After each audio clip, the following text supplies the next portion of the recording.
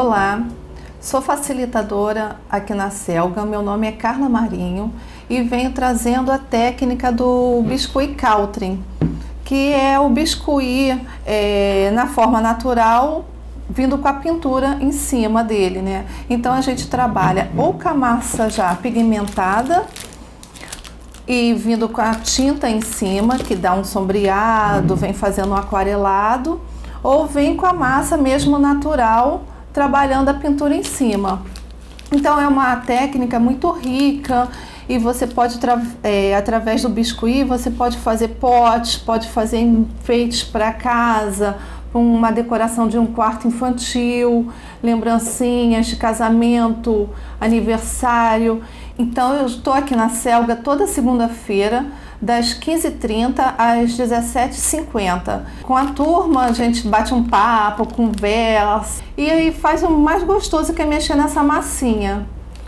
Hoje eu trago para vocês uma corujinha que é, vai ser um mobile ou um imã de geladeira. Vou trazer um passo a passo dessa linda corujinha. Acompanhe aí a lista de material. Para fazer a corujinha com a técnica Caltrin, você vai precisar de massa nas cores marrom, rosa, branco, laranja, azul, preto, pincéis batedores, tintas, tesoura, alfinete para biscuit, conta acrílica de dois tamanhos, fio de nylon, rolo para abrir massa, estecas e colas branca e instantânea. Para começar a corujinha, nós vamos começar pelo corpo. Então eu peguei é, um pedacinho de massa, aproximadamente uns 200 gramas de massa marrom, tá? Essa cor do corpo você pode colocar a cor que você quiser, tá? Eu hoje eu quis fazer, vou fazer minha corujinha com um corpinho marrom. Então eu pego um pedacinho de massa, vou fazer uma bolinha e vou dar um formato de uma coxinha, usando o que? A palma da mão, o canto da palma da mão. Depois que eu fiz isso, eu venho e achato. Tá? Boleio os cantinhos para deixar bem certinho, já dando o formato do corpinho que eu quero. Olha, esse aqui é o corpinho da minha coruja tá? Daqui eu já vou vir com a massa marrom mesmo, vou pegar duas bolinhas menores e vou fazer a asa da corujinha.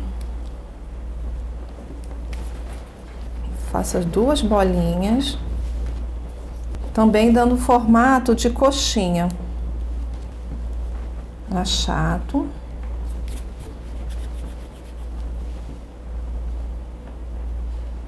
As duas vão ficar com formato de coxinha. Pego a minha esteca de gravata e marco uma, duas. E coloco no lado. Uma, duas, do outro lado, que já vai ser a asa da minha corujinha. Sempre que eu estou mexendo na massinha, já que ela está maleável, ela me dá a facilidade, né? Ela me facilita de eu estar tá sempre ajeitando para deixar do jeito que eu quero. Então eu vou colocando aqui, não preciso me preocupar que agora eu não vou colar, só vou ajeitando.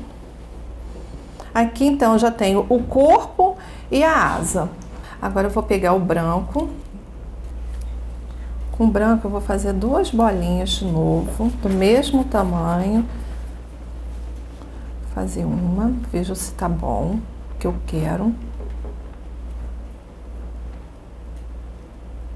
Que vai ser o olho da minha corujinha. Então, esse tamanho, essa bolinha aqui tá ótimo.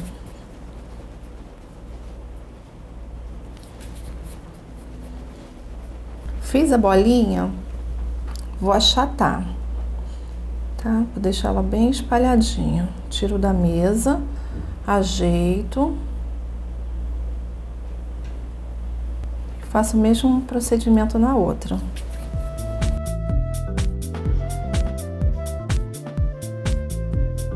Separo, não colo agora. venho com azul e vou fazer duas bolinhas menores.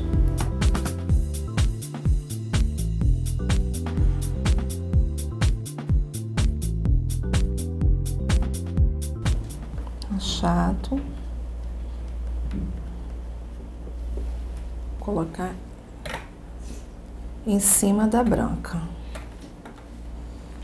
Agora eu vou vir com a preta para finalizar o meu olhinho. São duas bolinhas também menores. Então são, na verdade, três tamanhos de bolinhas diferentes. Vem a branca, a azul e a preta. São três tamanhos diferentes que vai ser o olhinho da minha coruja. Então agora elas estão soltas, né? O que, que eu vou fazer? Eu venho com a cola colocando para colocar para colar os meus olhinhos. Agora eu vou colocar, vou colar é, uma bolinha em cima da outra.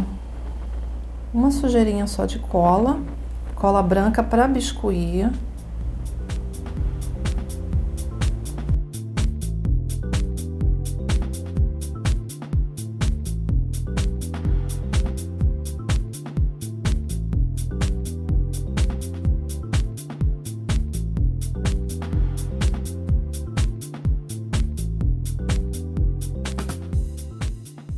Agora eu vou fazer com a massinha rosa, eu vou fazer a parte da frente da pena dela, que é um enfeite, né, na verdade.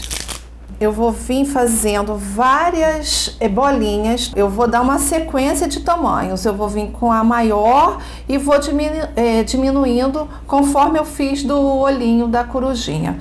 Então eu vou fazer bolinha, e dessa bolinha eu vou dar um formato de uma coxinha, como se fosse uma gotinha, tá? Eu venho achato, eu vou fazer isso várias vezes que eu vou preencher essa parte todinha da frente da corujinha.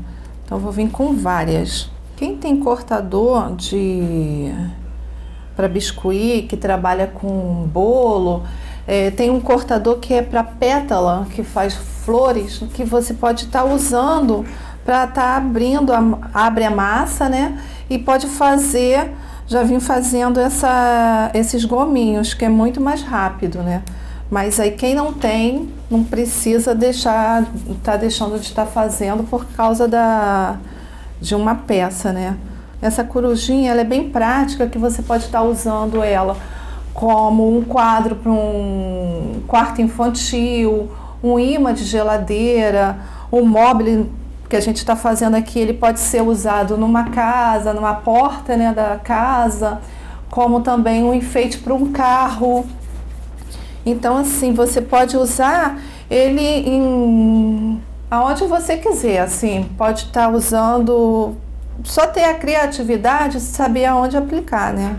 Tá aplicando o biscuit. Então, eu peguei uma folha de ofício para estar tá facilitando a, a minha montagem na corujinha. Por quê? É, nessa mesa, ela tá agarrando um pouco. Então, eu costumo usar, tá usando uma, você pode estar tá usando uma folha de EVA, um, um paninho, um tecido, ou mesmo esse papel aqui, tá? No caso, uma folha de ofício. Eu vou pegar a cola instantânea e vou colocar, vou colar as asas. Não precisa de muito, tá? Vou colocar uma do lado da outra. Aperta um pouquinho, que a cola instantânea ela já te ajuda nisso, na colagem. Pronto. O corpinho e as asas já estão prontas, já estão no lugar, já estão coladas. Agora eu vou vir com as peninhas, né, do corpo dela. Para fazer o enfeite. Aqui, eu, antes de colar, eu vou montar para ver se é o que eu quero, para ver se já está de acordo com a quantidade, já está exata do que eu quero. Então, é isso. Eu tiro, venho com a cola branca, não vou usar mais a instantânea, venho com a cola branca, passo embaixo, espalha, tá? Não precisa ser muita cola. Já vem colando, sempre de baixo para cima.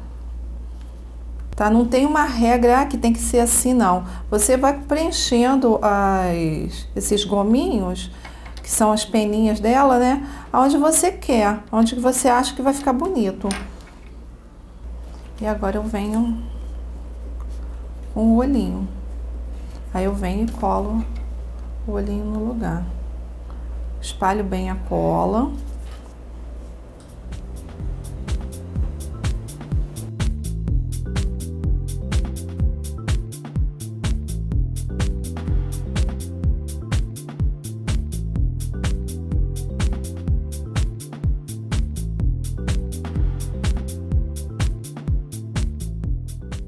Agora eu vou vir fazer o biquinho dela.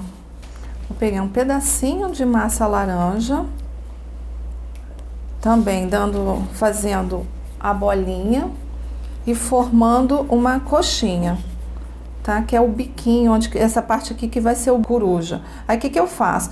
Eu vou achatar, mas não tanto como, como eu achatei para asa e para a peninha dela. Vai ser um pouquinho só. Passo a cola branca. E vou colocar bem aqui no centro do olho, entre a pena e o, e o olhinho. Então, a nossa corujinha, ela tá quase finalizada. Na verdade, ela já está pronta, né? O que que eu quero fazer?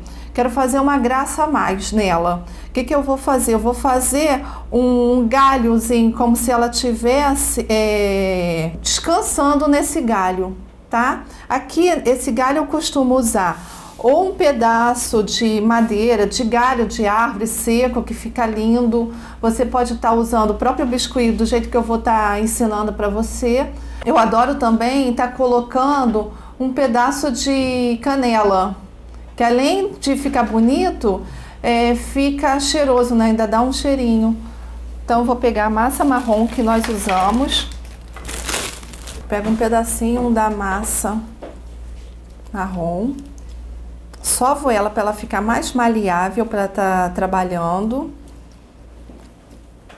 E agora faço a famosa bolinha. E essa bolinha aqui eu vou abrir.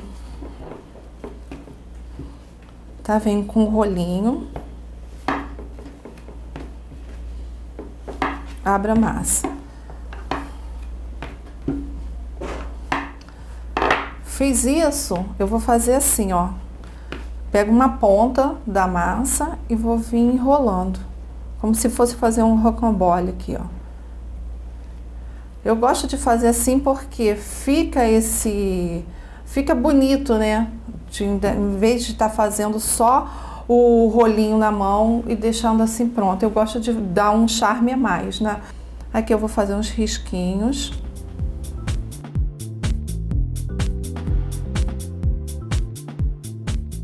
Com a própria estecas e vou colocando assim, ó, colocando as marquinhas, tá? Vou alongar um pouco.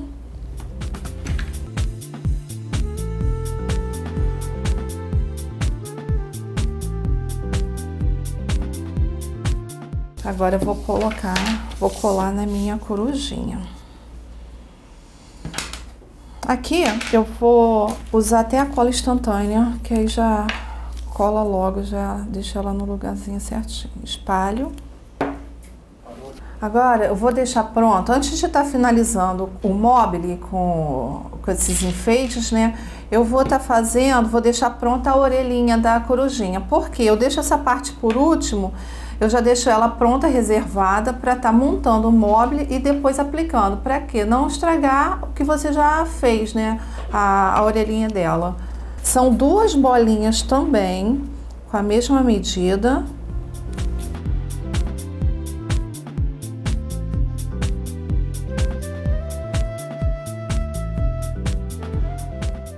Dessa bolinha, eu vou dar o formato da coxinha.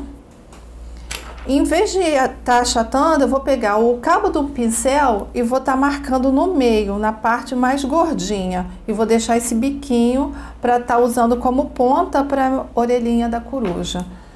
Então, vou repetir na outra, esse mesmo passo. Marquei com o cabinho.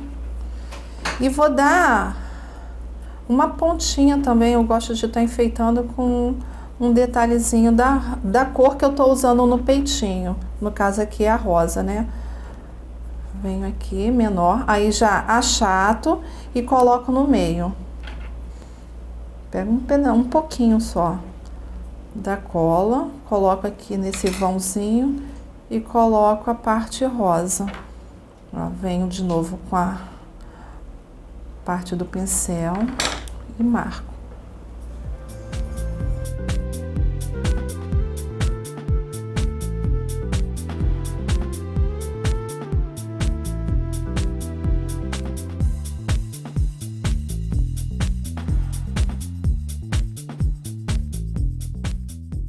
Com a própria esteca, corto aqui, corto embaixo, tá? Deixando a parte da pontinha, ó. Que aqui vai dar um acabamento melhor para tá colando a orelhinha da coruja. Então, fiz isso, eu vou deixar reservado e agora eu vou para a parte do móvel, né, do enfeite. Eu pego um pedaço de nylon, né, de linha de nylon, Vou dar um nozinho nesse alfinete também que é usado para bijuteria. Encaixo, ó. Vou dar um nozinho aqui.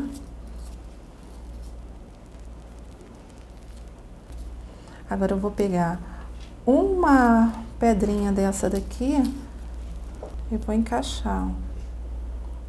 Ó. Aí eu venho com uma bolinha e uma outra maiorzinha, né? Uma gotinha. São diferentes.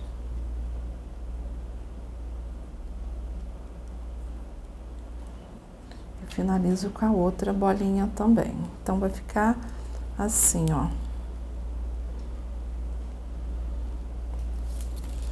Vou colocar essa parte aqui. Como ficou essa pontinha aqui, o que, que eu vou fazer? Eu vou entrar ó, com ela na nessas pedrinhas. Pronto, que já dá o acabamento que eu quero. Vou vir, dou um nó aqui, ó, aí vem com dois nós. Vem um para deixar mais grossinho, para poder parar a outra bolinha que eu quero, para estar tá enfeitando, ó.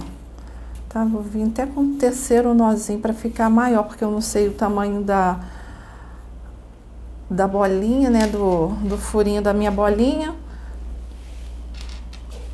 Aí vou encaixar de novo, ó. A bolinha, a gotinha, vou chamar essa daqui de gota, para ficar diferente, e a outra bolinha. Hum. Aí já segurou, tá? Aí eu vou dar uma... Vou, vou aqui no olhômetro, vou dar essa distância que eu acho que tá aproximadamente igual. E vou dar os outros três nozinhos de novo.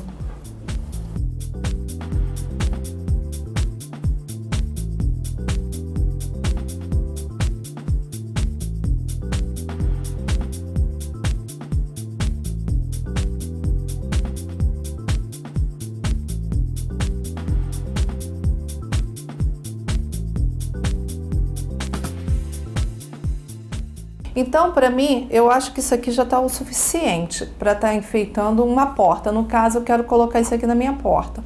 Então, eu já vou finalizar aqui. Para mim, já acabou. Aqui nessa finalização, você tem várias opções. Pode pegar uma argola redondinha para estar tá colocando. Tem ela de plástico, tem ela de metal que você pode estar tá usando. Eu vou fazer com a própria, com o próprio fio de nylon, tá? Eu vou deixar assim um, uma voltinha maior, tá? Não vou finalizar, não vou apertar isso, vou vir assim, ó, coloco no meu dedo e vou apertar, vou dar os nozinhos aqui, ó. Aí eu vou finalizar assim. Vou abrir e deixei do jeito que eu quero. Venho, corto o excesso.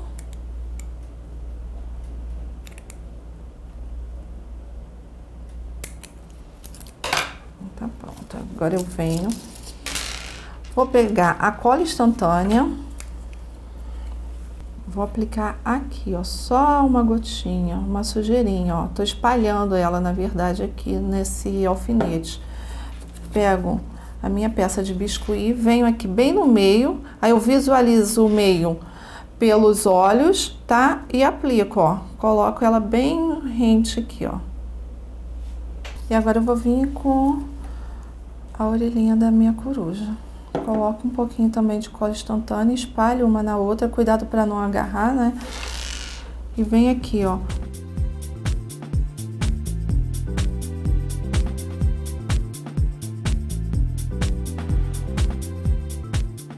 Você pode colocar a orelha visualizando as pontas do, dos olhos ou finalizando assim, é, no final da, da asa, tá? Que é um ponto de referência para você estar tá colocando a, a orelha. Então, finalizada a nossa peça, agora eu vou vir com a parte da pintura, tá? Que é a parte do country que a gente tá falando sempre. Então, essa peça aqui eu vou trabalhar com rosa mais escuro, para vir tipo um sombreado, para dar um, um acabamento aqui nesse rosa claro. E vou vir com amarelo no laranja, e vou estar tá pintando com caramelo, a tinta caramelo que é a mais clara, a parte do galho dela. Com a parte, com um batedorzinho, eu na verdade eu não sei o nome desse pincel, que assim, cada um usa, dá um nome diferente pro pincel. Então eu já chamo ele de batedorzinho, não sei se é esse nome que é dado para o pincel, tá? Mas é esse de cerdas mais grossas e redondado assim na frente, né, na ele é arredondado com as cerdas mais grossas. E tem esse aqui também, que esse é o pata de vaca, também com as cerdas grossas. Então esses são bons para a gente estar tá pintando. Vou usar na tampa mesmo, eu vou vir com a tinta, vou pegar um pouquinho da tinta com pincel seco, vou tirar aqui o excesso, tá? Num paninho, ó, seco, eu tiro todo o excesso e venho passando só na bordinha arredondada aqui, ó no caso, você pode estar tá usando, é bom você estar tá fazendo assim. Quem nunca pintou uma peça em biscuit, é, é bom tá faz, fez a peça hoje, deixa ela estar tá secando umas duas, três horas, ou melhor, no outro dia, tá? De um dia para o outro, tá vindo e, e, pintando. porque Não corre o risco de você estar tá marcando o biscuit ainda molhado. Então, que você tem que vir com bem com a mão bem suave, né? Então, é, é bom você vir de um dia para o outro, tá vindo com a pintura. Que você trabalha com mais calma. Olha como que já vai mudando, olha. Já vai te dando, vai dando um, uma diferença, né, na, na peça.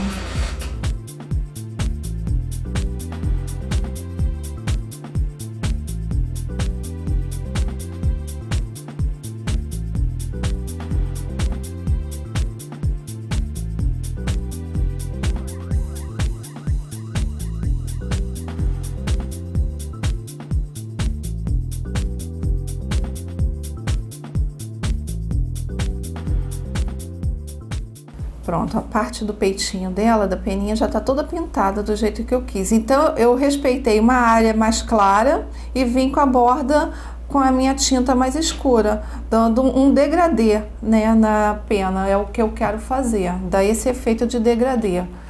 Então, agora eu vou usar a tinta amarela, que eu vou vir no, no laranja. Meninas, eu tô aqui toda segunda-feira, meninas e meninos, né? Que hoje o homem também faz biscoito. Então, é, eu tô aqui toda segunda-feira na Selga. Caso vocês se interessem ou tenham assim alguma dúvida, queiram vir aqui conversar, a gente bate um papo, tiram a dúvida, né? Pode vir, pode vir conhecer outros trabalhos, que eu vou estar à disposição de vocês. Vai ser um prazer estar recebendo vocês aqui tá? Agora, com essa parte, eu peguei o mesmo pincel que eu usei pro rosa, sem estar tá molhando, eu limpei no meu paninho, que a gente chama esse paninho aqui, é um, é um sujo limpo, que eu tenho, sempre estou lavando, mas sempre usando o mesmo é, paninho.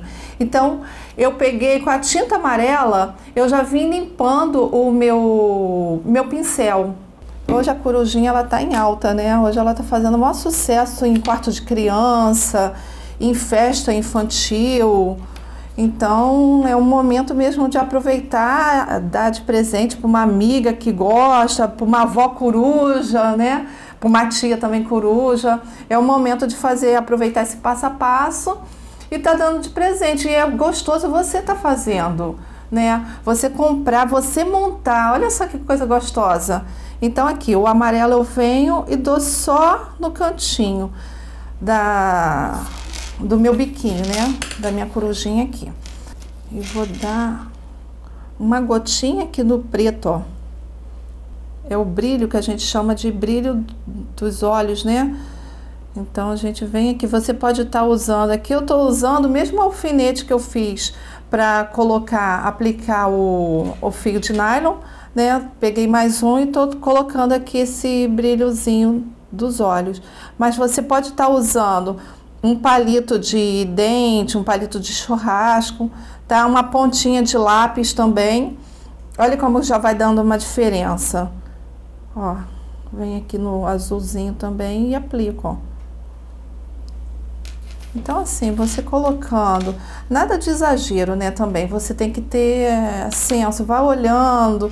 O acabamento é tudo, né? Você colocando um acabamento dá um tchan. Ela podia já estar tá pronta, mas eu vim, quis vir com a pintura que eu acho que dá um realce maior à peça. Então, já usei o meu, agora eu só vou finalizar o galho da corujinha. Aí eu vou pegar o marrom Vou fazer o mesmo processo. Tiro o excesso no paninho e venho passando no galho. Sempre faz um degradê do escuro pro claro. Sempre vai usando assim. Então, na verdade, no, na pintura você pode vir usando é, mais de uma cor, tá?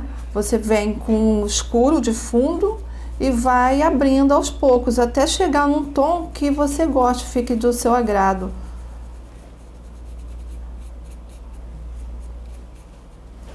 Ainda vou vir, vou deixar dar uma uma secada nele. Em casa, aqui eu não trouxe, né? Mas em casa você pode vir com um secador, dar uma acelerada nisso, nesse processo da pintura. Vou vir com um marronzinho mais claro. Esse aqui, no caso, é o ocre. Vou estar tá usando um pouquinho na bordinha aqui, ó, da minha asinha. Movimentos circulares.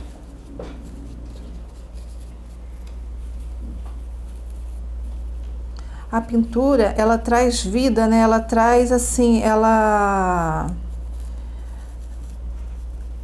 dá vida nas cores, né? Ela, ela chama assim, ela dá um tipo um 3D, não sei assim, ela, ela valoriza mais a peça, né? Então fica uma peça assim mais bonita pintada, sendo pintada. Vou colocar esse, já vim com, no caso, caramelo, que é uma cor mais escura, e vou vir de novo com ocre em cima desse caramelo.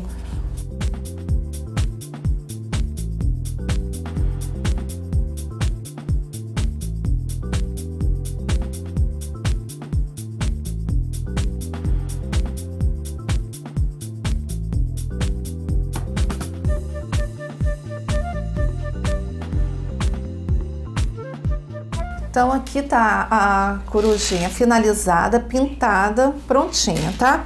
Então o ideal é deixar secar uns três dias para tá pendurando por causa do peso do biscuit, tá?